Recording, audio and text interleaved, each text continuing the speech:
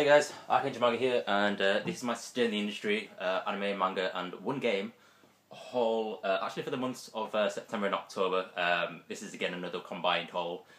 Um, as I haven't been collecting that much uh, manga and anime these days because obviously I've got a massive backlog to fill. So, uh, so yeah, let's start off with the anime as usual. In fact, I'll, I'll, show, I'll show you the one game that I got. Um, Ni Kuni, uh, Wrath of the White Witch. This is actually officially the, uh, I think it's the first JRPG game um, that I've uh, ever played, or ever started playing at least. Um, and I got it just because, you know, um, the character designs, the, um, the in-game um, animation and stuff like that was uh, produced by Studio Ghibli. Uh, that was like kind of the major selling point uh, for this game with me. Uh, so far it's pretty good. Um, this isn't a premium release, it's just kind of like a standard release. Um, you know, so I got it for pretty cheap and it's second hand anyway, so so yeah, Ni no Kuni, the White Witch, that was the only game I got this month. Um, start the kind of go on with Blu-rays, or shall I show you the DVDs? I'll show you the DVDs first. Um, I got uh, Cowboy Bebop, the movie. Um, because I've seen Cowboy Bebop the series already, I needed, I know I needed to get this because um, the movie is uh, canon to the series, and I think it's, uh, I think it's, um, I think it's set like in between maybe like episodes twenty three and twenty four, something like that. Um, you know, towards like the end of the series, but yeah, um, you know, it's Cowboy Bebop. Um, how could I say no to this release, even though it's just, you know, kind of standard. Doesn't really come with anything special. Um, it's just a kind of standard DVD, so. But it's Cowboy Bebop, so, you know, that's a win in itself. Um, and I got a, a, Ghost in the Shell Steel book, but no, it's probably not the one that you're thinking of that was recently released by uh, Manga UK. Um, it is Ghost in the Shell Solid State Society, um, standalone complex movie. Um, I got it in Steelbook, the DVD. Um, you know, this is really, really rare as far as I'm aware. Um, comes with like a, a, booklet and you know some two discs. I believe one is like just got extras and like one of them's got the movie on it. Um, but yeah, I was really happy with this. Uh, I found it secondhand. Um, it came with everything uh, that it originally came with. Uh, yeah, I'm just really happy that I got this uh, steelbook, Solid State Society, as you can see there. Yeah, there you go. Um, okay, next. Uh, these are some uh, DVD box sets. Um, first, I got uh, Linebarrels of Iron, and this is one of the uh, MVM deals of the week. That was on, you know, I think uh, about a month ago. Um, I watched the first episode of this, uh, and it seems alright. You know, I picked it up for the sole purpose that it was a mech anime, and uh, because I'm kind of watching Code Geass and reading uh, Mobile Suit Gundam, you know, I've kind of been like on a bit of a mech binge as of late. So I thought, why not? Let's see uh, let's see what more of the mech genre has to offer. And it was only tenner, so I thought, why not? Um, let's see some of the disc art. Um, it's got a reversible cover, um, which looks pretty cool. I'm not going to get that out right now because yeah, it'll take forever. I don't want to, you know, this video going for a long time. I'll just take out one disc so you can actually get like a little feel of what it's like behind. There you go. I hope you can see that. There you go. Um, yeah, reversible disc art. You know, that's always a win. It's always a plus, even though it's, you know, like never really going to be uh, shown. Oh, oh, that's not good. We got stuff falling over, guys. That's the one thing I don't like about doing these hauls, is when everything starts falling over. So I might have to edit this out. Um, I'm just going to get in the way of the camera right here, guys. Sort on my shelf. I don't like things falling over. So all this afterwards, but uh, yeah, I'm just kind of shove this back in here. Yeah, because. Uh, anytime I do my holes, I kind of just like because everything's already on the shelf. I have to like pull everything off. So you know, it kind of just screws up my arrangement. Everything, everything starts falling apart, as you can see. Um, all right, so moving on.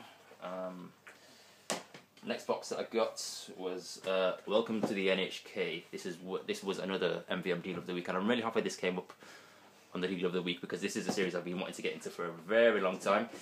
I've heard very good things about it, and it's a very popular show. Um, you know, I guess you could say it's a cult classic uh, among anime manga fans. Uh, nothing special about the disc it's very, very basic. But I'm not particularly too bothered about that because I know I, I know the show itself is pretty good. You know, even having not seen it, I know it's like about a uh, hikikomori guy, or something like that. It's got like comedy and you know things like that, but it's actually got you know pretty serious themes of suicide, or at least that's what it says in the back. Uh, so I'm you know looking forward to seeing that, something different. Uh, another DVD box that I got was K-On! The complete. It says the complete series, but it's only actually the first series. Um, yeah, this is just kind of like the standard manga UK release, but you know, a moe show about cute girls doing cute stuff. Uh, you know, that's a selling point for me. Um, it's be about music and setting up a band, but I, I heard for the majority of the show it's just basically eating cake. As you can see, most of the girls on here doing that. Um, so yeah, I, I like cute girls doing cute stuff. I'm not a, you know, I won't go out of my way to kind of watch a Moe show, you know, by streaming or anything like that. But you know, if, if, if I can find a cheap bargain, you know, in terms of DVDs, then yeah, I'll pick something up. Uh, okay, next Blu-rays. Uh, first Blu-ray I got was uh, Ghost in the Shell: Innocence. This is the second Ghost in the Shell film. I think it's a, like a direct sequel to the original, like 1995 one, um, directed by the like the same guy, um, Mamoru Oshii, uh, the same dude you know, behind the original Ghost in the Shell film. I've seen this before, but uh, I wanted to trade it in and get the uh, the Blu-ray instead uh, because uh, I uh, I want to get the, um, the, the original Ghost in the Shell steelbook as well. Uh, talking about steelbooks, I got a really rare release here. Akira, the the Blu-ray steelbook collector's edition. I picked this up for a really good price. Uh, it was used, but it's in pretty much brand new quality. Um, as you can see, it's still got the uh, the cardboard sleeve on it. You know, from from when it was released. You know, that was remained you know pretty well intact. Uh, but you know, that's not what you're interested in. You're interested in the actual steelbook itself, looking very beautiful. Um, comes with a uh, an art book or like a I don't know. I don't know what's in here. I haven't looked through it yet, but yeah, uh, I'm really glad I got my hands on this because the only other um, Akira um, Blu-ray release is just like the standard sort of you know Blu-ray sort of thing. I don't think it comes with any extras. So I was really happy I got my hands on this because it's out of print.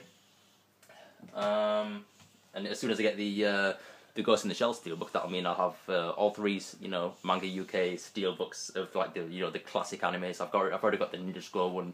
Obviously, I've got the uh, the Akira one now, and as soon as I get the Ghost in the Shell one, I'll have like the top three sort of you know Western um, uh, animes that you know just broke the West. Um, anyway, moving on. I got another uh, Blu-ray release, another Kaze release. Um, Black Lagoon: Roberta's Blood Trail. Um, the uh, five episode OVA series, um, which you know directly follows fr- on from the uh, the first and second barrage of the original um, Black Lagoon series. So, but I think this one centers on uh, Roberta. You know, hence the title. Um, so yeah, I'm looking forward to watching this because Black Lagoon is one of my all-time favorite anime, uh, or it is so far anyway. Um, I got another collector's edition um, Blu-ray, Redline, uh, another film I've been wanting to see for a very, very, very long time. Um, heard you know the production quality of it is absolutely just outstanding. Um, so yeah, that comes with like a nice sort of um, you know box, and then you got the the Blu-ray itself comes with a booklet and two discs with a reversible arc um, on the you know slipcover, but I'm not going to get it out because I'm trying to blast through this video. Redline. Okay, and the penultimate um, collector's edition Blu-ray I got was uh, Attack on Titan Part One. I had to pick this up on release. Uh, in fact, I'm kind of gonna I'm gonna move these. I'm gonna move my camera in a little bit closer. There we go. I think that's a little bit better now yeah, Attack on Titan Part One, uh, collector's edition. Uh, comes with the nice like box, you know, sort of similar to how um, Fullmetal Alchemist Brotherhood was released. Um, yep, comes with like a standard DVD inside, but we also get another another booklet. You know, got character profiles and stuff like that in it, and reversible. Uh, wait, hold on. Yeah, it comes with three discs, and you get reversible um, cover art, which I'm not going to show you because uh, I'm pretty sure everybody in the grammar has already seen the Attack on Titan uh, release for the UK so far. And last but not least, um, you guys know I've already got this. Um, this massive behemoth of a Blu-ray set, Gurren Lagann, the Ultimate Edition, cost uh, nigh of one hundred pound, um, but I think it was worth it because you get like the entire series, both movies, and a crap load of OVAs and extras. Um, and a pretty cool art book. Yeah, obviously I'm not going to get this out um, because I've already done an unboxing video of this. If you want to check that out, um, I'll put a link in the description to that video so you can check out and see what's inside this baby because it is huge and there is a lot of stuff, you know, cool stuff in it. Though I would have liked if they put like a poster in it, you know, that would have kind of like rounded it off and made it like completely perfect for me because, you know, I like something to show for it um, other than it just, you know, standing on the shelf and, you know, obviously the art, I'm not going to get the art book and display that. So I would like, you know, I would have liked there to be a poster in this, but yeah, what can you do? It's still a great release. So yeah, that was it for all, all my anime. Uh, now we'll move on to the manga. Um, I've got pretty cool. I've got a pretty few cool releases. Um, not as much as I'd liked, um, as I would have liked to have picked up, but you know, uh, I got some. Let's see, some uh, continuing releases of uh, manga that I've already been reading. Uh, latest volume of Claymore, um, volume twenty four. I say the latest volume. It's actually been out for quite a few months now. Um, I think it came out like just around the start of the year, around May or something like that. Uh, another good volume. Um, Claymore is actually coming to an end. Um, you know, disappointingly. Um, just when it's getting to a point in the story where it's actually really starting to like get better, I think. But yeah, Claymore Volume Twenty Four. Um, again, I got uh, another um, latest issue, latest volume of Attack on Titan, Volume Thirteen. Again, I picked this up in uh, uh, in September, but you know, obviously I'm showing it now. Uh, another good volume. Um, not really much action, uh, more about uh, like history of like certain characters and stuff like that. But it, you know, needless to say, it was a good volume. And the latest volume of One Piece, Volume Seventy Two, New World, Part. Uh, let's see, Part Twelve. New World is part, you know, twelve parts now. So this New World arc uh, might be even longer than the Water Seven arc.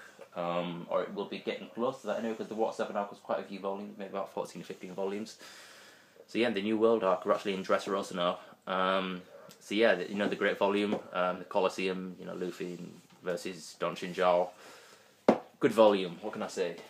Really enjoyed it. And I got a new release, uh, or like a new sort of series that I'm starting to collect. Uh, Nisekoi, False Love, Volume 1. Um, I'm aware that this is like a comedy romance or something like that, but it's a shonen, so there won't be like you know sort of like shoujo-ish elements in it from what I'm aware because it's a shonen jump title. But I heard it's good. Um, I know the anime aired, I think, I believe it was last year, and it got you know pretty good following. You know, it's a pretty popular series, so I thought why not you know pick it up. I don't I don't have that many romance series or you know anything like that in my collection, so you know I thought I'd start with this. Okay, uh, I actually got a light novel. Um, my first ever light novel. Um, it's an old Tokyo Pop release, and that's uh, Twelve Kingdoms, Volume One. Uh, I never actually realised this was a, a, light novel when I was checking it out on Amazon. Still got the uh, the bloody barcode on there, sticker barcode. I don't think that's going to come off. Um, but yeah, um, I just thought I'd check it out. You know, I was kind of disappointed when it came and it was a light novel, but you know, I did bother sending it back. It's got a really nice, um, you know, hardcover design. Uh, it's got design on the hardcover. It's got like an embellished sort of logo there, almost like a wax stamp with the uh, the name of the the series, Twelve Kingdoms.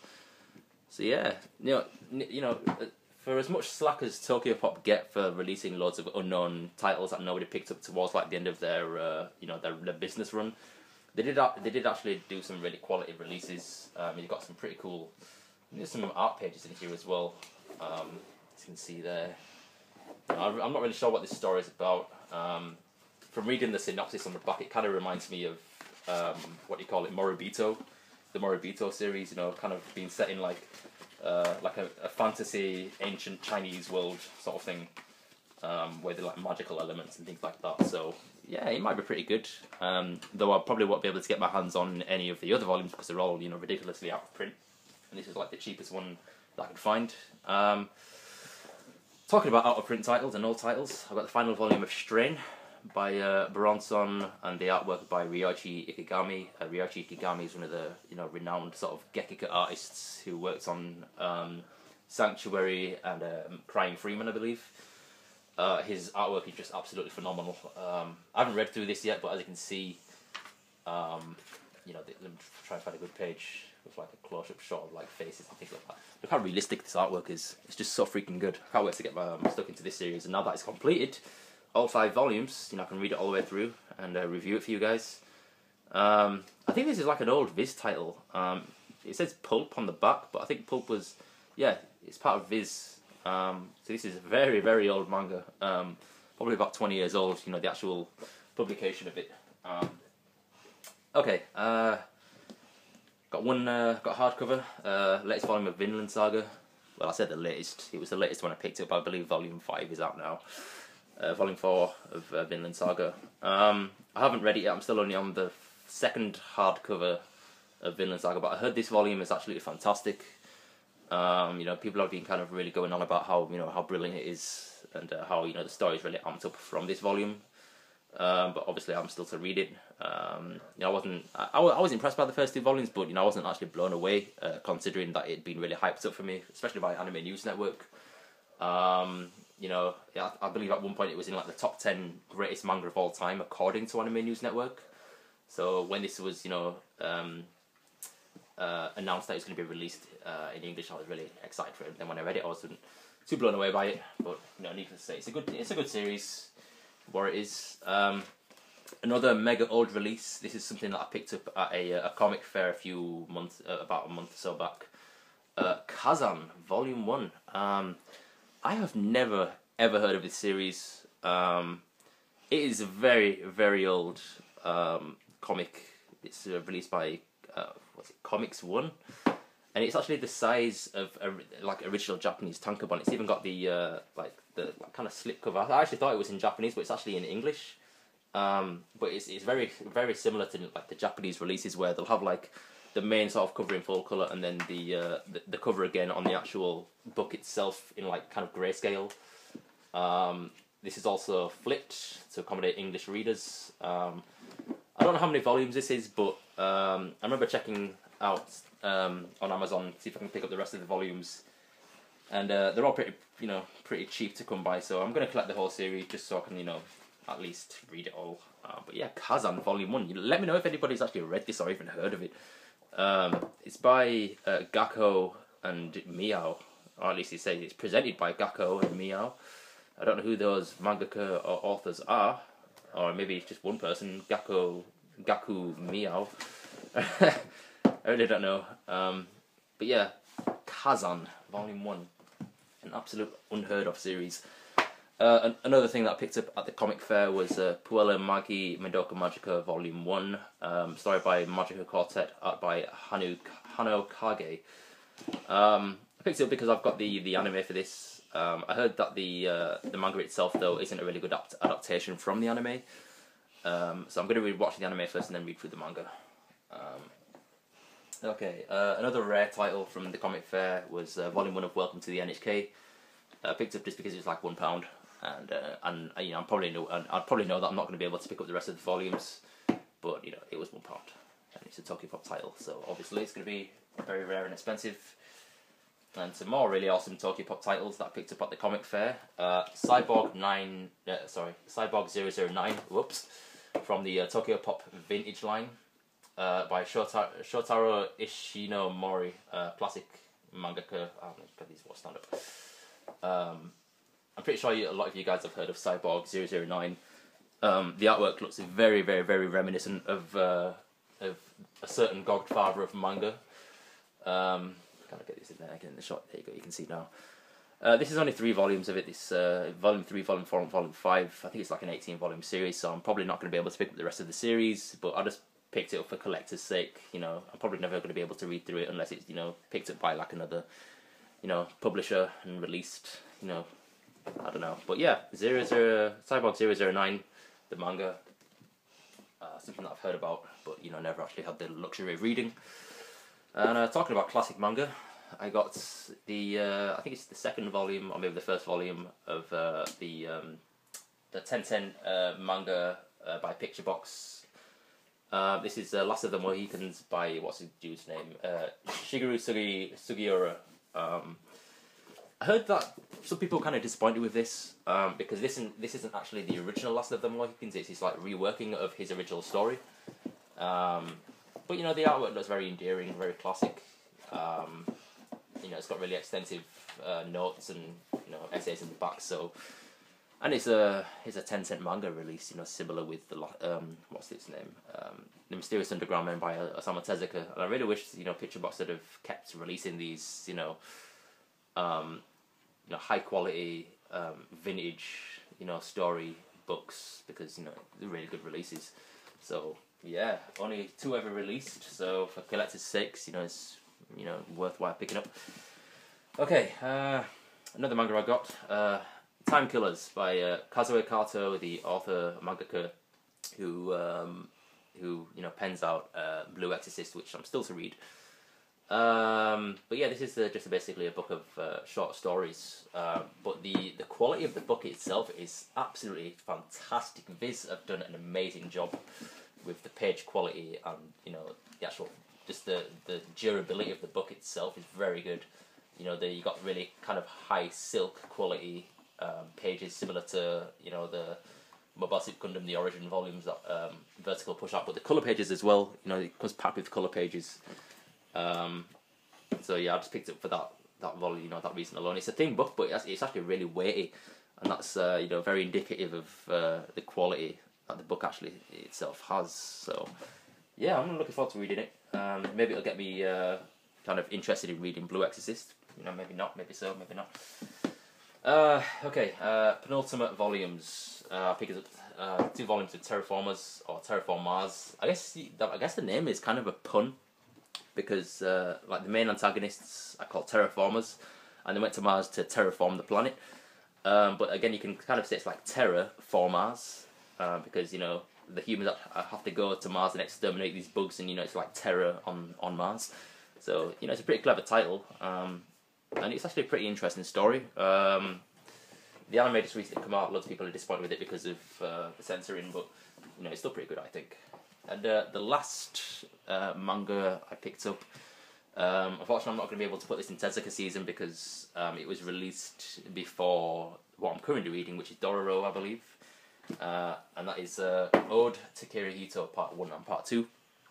Uh, I'm just going to push this in a bit more. There we go. Um, yeah, uh, I think this is one of uh, Tezuka's like more serious works. I think this is like one of his gekiga influenced works um, about some kind of disease which turns people into like dog-like creatures, as you can see here. Um, let me see if I can kind of like.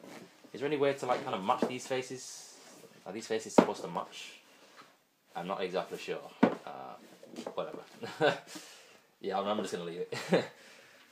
but yeah, uh, Ode to Kirihito.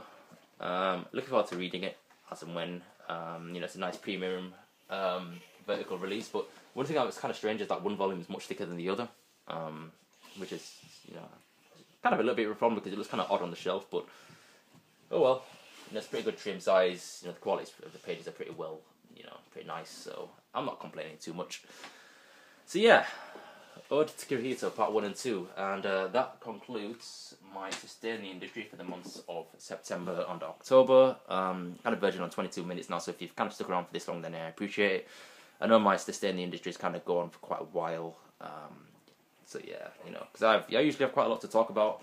Um, and uh, you know, in the last piece of news, actually, uh, I'll let you guys know that the um, Kodansha USA have announced that the uh, the Parasyte manga uh, is getting a reprint because you know so many people have been asking. You know, we've had like you know the uh, the anime for it airing. You know, obviously like um, demand for it is rising, which is really good because you know obviously I own the manga, but I want more people to be able to read it. Uh, so yeah, that uh, that concludes um, this video. Um, thank you for watching. Um, let me know in the comment section below uh, what you got this month, or you know send me private messages of your videos um, you know, I love to see what other people get. Um, you know, because it gives me, it also gives me ideas of what I need to buy. Um, so yeah, uh, until then, I'm Archangel Manga, and I'll uh, I'll catch you later, guys. See you on the flip side. Bye.